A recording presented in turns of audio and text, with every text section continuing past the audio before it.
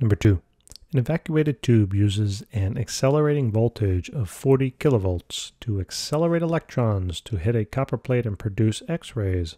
Non-relativistically, what would be the maximum speed of these electrons? All right, so basically we have an electron. We have some potential difference uh, between two points. So for example, pretend that we had a plate behind the electron here to the left that was, I don't know, negative, okay? And pretend that the plate over on the right is going to be positive. There then exists some potential difference, all right, between the negative side and the positive side. What's going to happen to the electron? Basically, the electron is going to be accelerated on over to the right, correct? It's repulsed by the negative, okay? I'm not sure what that was. Repulsed by the negative. It's then attracted also to the positive. So hopefully that makes sense. So now um, what we have to do is we have to try to find out the speed, right, of this electron, okay, the maximum speed. So if the maximum potential difference here between the two sides is going to be, as they told us, I'm going to write delta V is equal to 40 kilovolts. First of all, we know we need it in volts. So basically just convert that on into just volts, so multiply that by 1,000, so it's 40,000. Okay, 40,000 volts. Now we need to be able to translate this voltage basically into a speed. And the only way to do that is through potential and kinetic energy. That being the case, I now think about, well, how is voltage con connected to potential energy or, you know, kinetic energy if I knew? And I have a formula, right? The formula is the change in voltage, or the potential difference between two points, is going to be equal to the change in an object's potential energy, all then divided by the charge of that object that's moving, right? In this case, we're talking about an electron. Okay, so this is the charge of an electron. So now, basically what I realize is I can plug in then the 40,000, okay, for the uh, voltage difference. Then the change in potential energy is what I'm actually going to solve for. And we actually do know what the charge of the electron is. What is it? This you got to probably memorize. It's 1.6 times 10 to the minus 10 to the minus 19th. Okay, coulombs. Let's just leave it alone like that, right? So now I realize that the change in potential energy of the electron is going to be, just take out the handy dandy calculator, 40,000 multiplied by then 1.6 times 10 to the minus 19th. And we get a value of about uh, 6.4, right? 6.4 times 10 to the negative 15th, and that's now in terms of joules. So what we have to assume here that this is the maximum change in potential energy of the object. Okay? So in other words, if when the electron is not moving, like pretend you're literally, you know, holding it here, okay?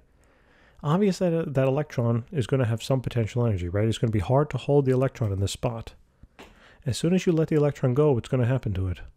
It's going to want to accelerate to the right for the reasons we discussed before. So essentially what's going to happen is all that potential energy that's held up in that electron as you're holding it is going to then get converted into kinetic energy, right, as it's moving. And that's the whole idea behind this problem. Okay, so whatever the change in potential energy then of this object will be completely converted on into kinetic energy, right? So the kinetic energy then of the particle, of the electron that is, will be, when it reaches its maximum speed, 6.4 times 10 to the minus 15th joules. And we can go through all the change in energy, right? Is going to, you know, all that, you know, final minus initial, then break it up into who cares, right? Who cares at this point? It's chapter 19. Okay? We should be able to get through that now. So, what I realize now is I got to find the speed. So that's the key, right? I had to get to kinetic energy somehow.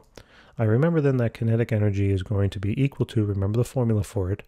Let me change the color, get a little happy blue. Kinetic energy then is going to be equal to, I've been watching a whole bunch of Bob Ross videos lately. Uh, don't really know why. So 1 half mv squared. God, he's so relaxing. Anyway, so in order to find velocity, what do I have to do? I have to solve this equation for v. Okay, so re manipulating everything, multiply both sides by 2, divide out then the mass, and then take the square root. So we realize that it's going to be 2 times the kinetic energy, all then divided by the mass, take the square root of that, and that's going to be equal to the velocity. So now all I now need to do is basically just plug it on in. So 2 times the kinetic energy of 6.4 times 10 to the minus 15th, all divided then by the mass. The mass of what? Well, the mass of the object that's moving. And what is it? An electron. This you might have to memorize. It's 9.11 times 10 to the minus 31. And when we take that and plug it into the calculator, let's see what we get. square root of 2 multiplied by 6.4 times 10 to the minus 15th, then divided by 9.11 times 10 to the minus 31. And I get a nice large value, so it's about 1.18, let's say, 1.18 times 10 to the 3, uh, hold on, I gotta count this, 3, 6, 7, 8, I think. Hopefully my eyes uh, can count the spots. And that would be then in terms of meters per second, okay?